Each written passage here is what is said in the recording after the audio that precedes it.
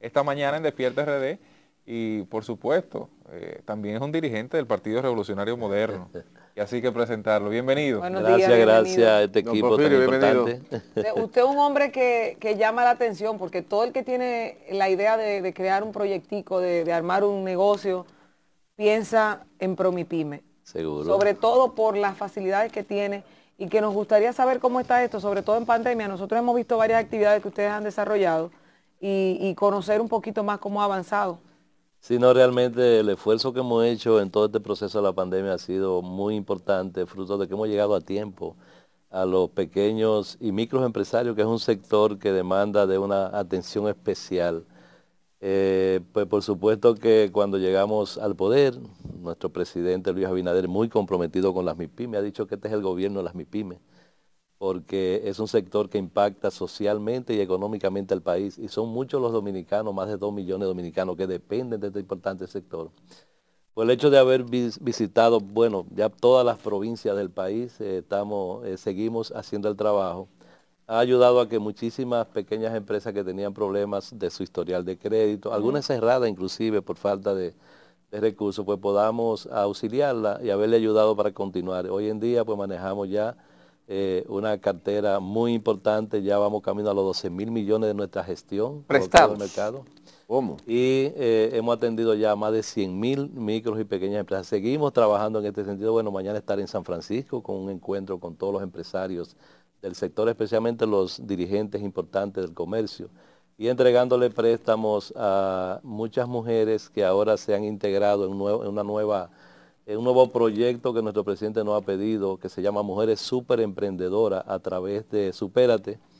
Habíamos identificado una debilidad que teníamos lamentablemente y es que muchas mujeres dominicanas, que muchas veces son jefas de hogar, se van a estudiar y se, pues, forman en diferentes tipos de, oficios, especialmente de estilistas, reposteras, eh, tapiceras que aprenden a hacer muebles tapizados cuando vuelven al barrio con su certificado ya graduadas, muy felices y contentas, no hay una empresa donde trabajar, pero tampoco tienen recursos. Entonces el tercer eh, problema que tienen también pues es que nadie le firma de garante. Nuestras normas establecen que cada préstamo tiene que estar avalado por una garantía hipotecaria, prendada o solidaria.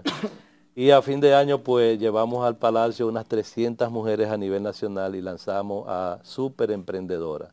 Es un proyecto que busca apoyar a las personas que ya conocen un oficio, especialmente las mujeres, que son las que llevan la bandera en este tiempo, y prestarle hasta 50 mil pesos con una sola firma, a su firma, de tal manera que es una Hasta 50 mil. Hasta 50 mil, sí, porque el otro programa de emprendimiento es hasta 200 mil pesos, pero ya se requiere precisamente la garantía.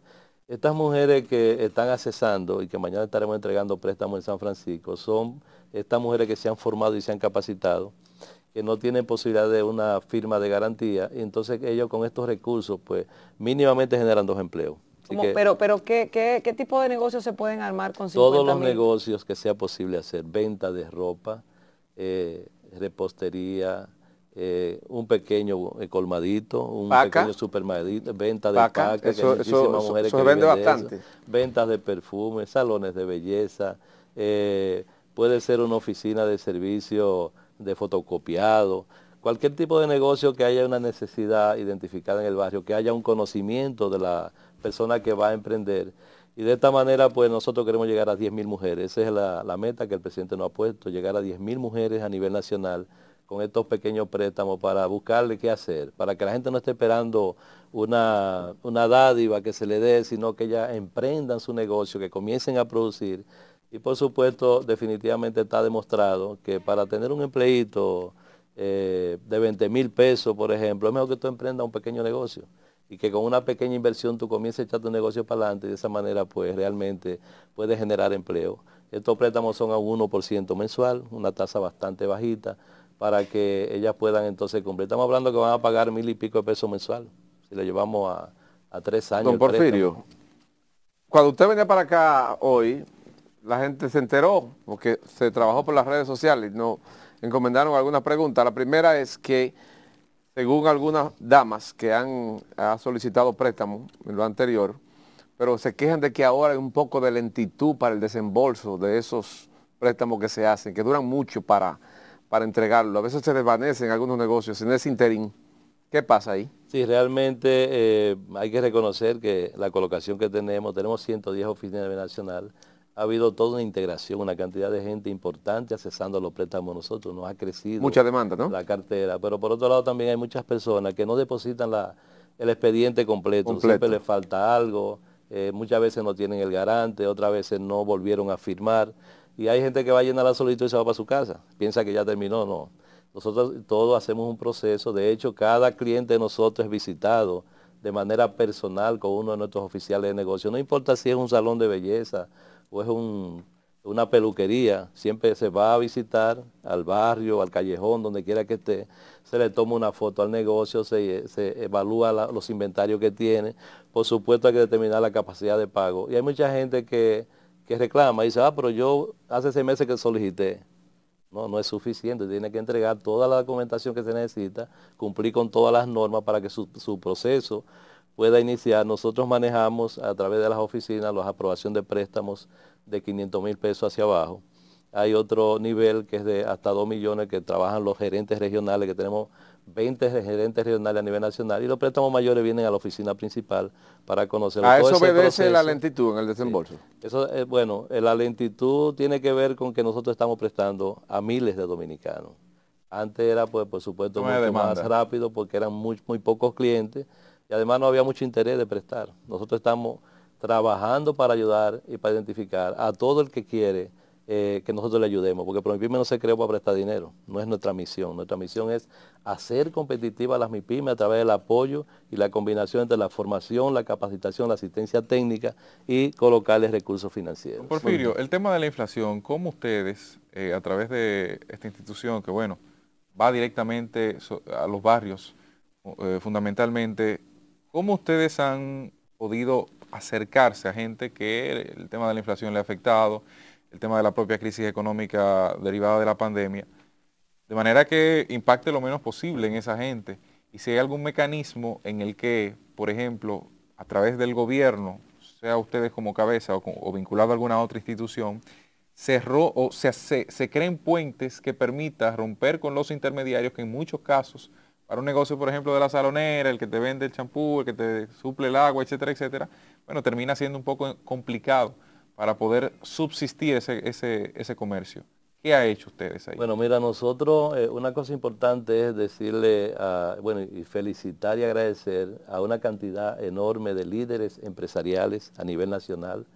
Estamos, eh, lo hemos conformado en los comités consultivos. Son los empresarios básicamente las asociaciones, la federación de las cámaras de comercio, que precisamente estamos trabajando para montar un gran evento en el Palacio Nacional con nuestro presidente Luis Abinader para firmar el gran pacto nacional a mi pyme que el año pasado tuvimos que suspenderlo por la pandemia. Todos estos líderes a nivel nacional son los que nos ayudan, son nuestros aliados a identificar las necesidades de este sector. Realmente, eh, ahora mismo, pues, una de las tranquilidades que puede tener nuestro cliente es que las tasas se mantienen iguales. 8% para el sector de las pequeñas industrias y 12%, que es un 1% mensual, para el sector comercio y servicios.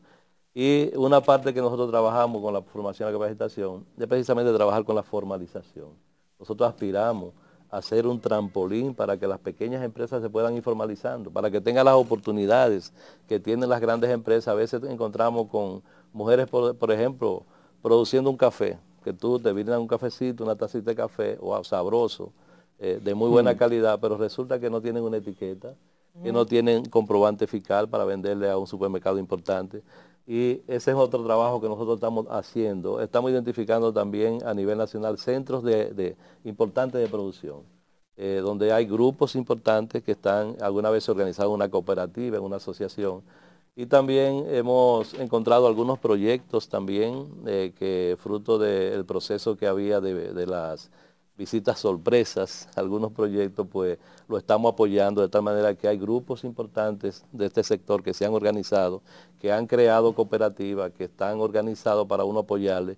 Y de verdad que en la medida en que vamos identificando esos grupos organizados, pudiéramos decir que en eh, un caso especial es Burende, aquí en La Vega, donde hay, según hemos visto las informaciones, unas 300 fábricas de muebles. Okay. Muchas pequeñas, sí, sí, hay muchas fábricas hay un potencial enorme que nosotros queremos apoyar trayendo nuevas tecnologías, llevándole nuevos conocimientos. Hay una cantidad de equipos nuevos que se manejan con sistema automatizado. Entonces, esas pequeñas industrias donde la, encontramos concentrada, estamos trabajando ahí, por, supuesto, siempre aliado con el Infotec, Porfirio. que es quien nos apoya en toda la parte de la formación. Hay un tema con eso de los préstamos, y no sé cuál es la situación en este sentido con ustedes. Se presta. Hay algunos negocios de esos que quiebran. La morosidad en lo que reciben el préstamo. La situación en ese sentido, ¿ustedes tienen mucho problema con eso o la gente paga puntual? Hay muchos que han quebrado. ¿Qué se hace con esa gente que quiebra, que no puede continuar? Mira, lo que hay allá es una buena gestión de recuperación. En todas nuestras oficinas siempre hay un agente, un oficial que se encarga exclusivamente de la recuperación. Sí. Eh, realmente nuestros clientes, pues la verdad que es sorprendente decirlo. A, veces se nos... Eh, se nos dice, oh, pero ¿y será verdad eso? Sí, allá el amor está por debajo del 2%. oh, pero bien. Lo que significa que hay un compromiso y además también hay una motivación muy especial. Todo cliente de nosotros que paga 100% su préstamo, cuando pagó el 70% puede reganchar. Otra ventaja que tienen ellos es que se planifican y aceleran su pago para poder coger el doble de lo que cogieron primero, lo que significa que eh, hay una visión muy clara de cumplir fielmente. Tú sabes que el tema de, eh, del historial de crédito es un tema muy importante. Hemos encontrado situaciones difíciles precisamente, no solamente los micros y pequeños empresarios. O sea que como decía Danilo, el dominicano es buena paga. el pobre, pobre paga. Ahora, ¿Eh? Hasta ahora, el que paga bien. Ahora hay una, hay una cosa que yo eh, me gustaría saber si eso es un término referencial de, de todas partes. El tema de la garantía prendaria solidaria, hipotecaria. Si yo estoy empezando un proyecto nuevo y yo no tengo un agente de mi confianza, porque no todo el mundo quiere ser, la mayoría son garantes solidarios, ¿eh? Sí, seguro. que esté empezando para un tema de Promipyme muy posiblemente no tenga una garantía prendaria, una garantía hipotecaria. No tengo un vehículo, no tengo una casa, tengo que buscar una persona. Eso no se pudiera eximir si no tiene las otras fuera de los 50 mil pesos, sobre todo porque hay gente que le ha pasado ser garante y lo dejan embaucado, por la buena fe tendría que pagar. Y sobre todo, ¿cuál es el monto más alto que ustedes han eh, prestado que no tiene que ver con grupos o asociaciones? No, no, de manera individual nosotros estamos hasta 7 millones de pesos. Ahora, los emprendedores. Mira, el emprendedor es una persona que no tiene dinero, que no trabaja, pero que sí sabe un oficio. Además tiene otra, eh, otra razón que, hay que saberlo identificar, tiene una pasión, tiene una idea de un negocio, quiere iniciar un negocio. Entonces esos préstamos son hasta 200 mil pesos, por supuesto, con una garantía solidaria en la mayoría de los casos. Y luego los 50 que dije ahorita es porque eh, por esa situación no podemos arriesgar, tú sabes que el trabajo de nosotros es prestar, pero tenemos que recuperar para poder seguir colocando. Entonces estas mujeres que muchas veces no consiguen garante, le hacemos un préstamo hasta 50 mil pesos, de tal manera que lo estamos manejando con un fondo especial que tenemos para soportar cualquier situación que se presente, pero eh, hasta 200 mil pesos sí hay que tener eh, una garantía. Y definitivamente que montarle un negocio nuevo a una persona requiere de, una formación especial, hay que trabajar con esa persona en lo que tiene que ver con administración de, pequeños negocios, porque si tú no tienes una visión clara de lo que va a hacer, cuando nosotros perdemos la inversión que, estamos haciendo, y la idea es poderte ayudar, prestarte dinero, cobrarte una tasa de un 1%, darte un tiempecito de gracia para que tu negocio pueda crecer y ayudarte a crecer y darle seguimiento, por supuesto. Eh, es decir, que estos proyectos tienen que tener algún tipo de garantía de, que los clientes vayan a pagar, porque eh, tampoco podemos, bueno... ¿Cuál es la tasa que usted está prestando? Un 1%, para el sector comercio y servicio y un 0.87 creo que es del 8% para las pequeñas industrias. anual. Estamos, sí, anual. Estamos motivando de manera especial a todos los pequeños industriales, los que producen aquellos también que le sirven al gobierno, hay muchísimos suplidores del Estado que venden eh, comida, que venden pupitre, que venden uniformes, que venden zapatos, que se pongan a producir. Eh, eh, hay un momento oportuno, este es un momento extraordinario. El presidente está trabajando, como siempre, incansablemente. El turismo está creciendo. Hay una demanda, por ejemplo, en el caso de Eh, hay un, un, videito que nosotros eh, tenemos ahora mismo donde están una cantidad de empresas criando peces, a veces en su, en su entorno, otras veces en lagunas. Eh, hay una gran demanda. Estamos trabajando para crear 5.000 nuevos emprendimientos de producción de, de miel, los apicultores. ¿Por qué? Bueno, porque descubrimos o no descubrimos, sabemos que en los parques protegidos hay áreas importantes, territorios grandes, donde no se puede trabajar agricultura, no se puede cortar un árbol. Y nosotros queremos crear ahí eh, apicultores, que tú te compres 10 o 20 cajas y, metas 20 colmenas ahí para producir miel, porque hay una gran demanda de miel, no hay suficiente miel en el país. ¿En el país no, en el mundo? O en el mundo. Y todo esto son emprendimientos. Y no vienen aquí al país porque aquí hay mucha miel. No, aquí la miel que hay, la miel que hay aquí, lado del mundo. La, miel que hay El Caribe. Sí, pero la miel que hay aquí ¿Eh? nada. No, no, la, miel que tiene el Caribe es la mejor. La miel de aquí, mira, una de las mejores miel del mundo la tenemos aquí. Claro. Especialmente por Montecristi, allá es Excelente. Una zona perfecta para producir. Mire, a propósito de miel, escúchame Cristian, a propósito de miel, hay un crecimiento de la, de la empresa de cirugía plástica. Las mujeres cogen préstamos para hacerse no, no, le, podemos prestar para, hacerse los senos, hacerse los glúteos. eso es un negocio. Claro, esto, sí. sí, la empresa de cirugía plástica, pues eso ha crecido bastante. Eso, es emprendimiento, pero eso supera, eso supera es un negocio. Los préstamos. No, no, no. Es lo que quieren, los médicos que quieren poner una, una, una, una, una ah, empresa de eso. No, espérate, espérate. tú dices de un médico. Él se refiere a los médicos, pero que supera los cuartos. No, yo, yo, no, yo entendí otra cosa. No, es que supera, ¿Cuál entendiste, mi amor? Que las mujeres préstamos. No, no, porque no me terminaron, no me, no me dejaron terminar la idea de que, de que realmente esa gente que quiere emprender, médico que quiere emprender, poner una, una clínica de cirugía estética, estética llega hasta allá la cantidad no, realmente ese tipo de empresa ya tiene su servicio con la banca formal ah, Ahora nosotros sí trabajamos con le gusta arreglarse su nariz, su seno, sus glúteos. Eso lo dejamos a la gente que tiene cuarto. Sí, sí, sí, sí, Don Porfirio, los hombres que ahorita lo presenté también. como dirigente del PRM y no quisiera desaprovechar la oportunidad para preguntar sobre su visión de cómo debe proceder el proceso que, el proceso que debe venir, ya se hizo la convención el pasado domingo, eh, para escoger al presidente, a las autoridades del Partido Revolucionario Moderno. Debe ser asamblea de delegados, debe ser eh, votación eh, de todos los miembros del partido, como algunos sugieren, porque hay una discusión de que, que de eso dependería la escogencia del presidente y secretaría general de esa organización política. Bueno, realmente yo como funcionario, ¿verdad? Mi trabajo es valorar y, y poder hablar siempre de nuestra gestión de nuestro presidente. El presidente nos ha dicho, estamos trabajando, fruto de la pandemia, tenemos que luchar, trabajar incansablemente por echar hacia adelante mi país. De todas maneras, en el aspecto político, yo pienso que sí, que todo el mundo debe tener derecho a participar. Podemos eh, inclusive acercarnos más, fortalecernos más, crecernos más si le damos la oportunidad a todo el mundo. Pienso que sí, que definitivamente las bases del partido deben tener una participación eh, abierta y eso nos va a fortalecer. Estoy de acuerdo con eso. Sabes que yo vengo de, del sector empresarial, eh, siempre he estado en las direcciones de finanzas a nivel nacional, de tanto en, el proceso de nuestro pasado presidente Hipólito Mejía, ahora con Luis también, y me manejo muy de cerca con el sector empresarial, básicamente de las pequeñas empresas.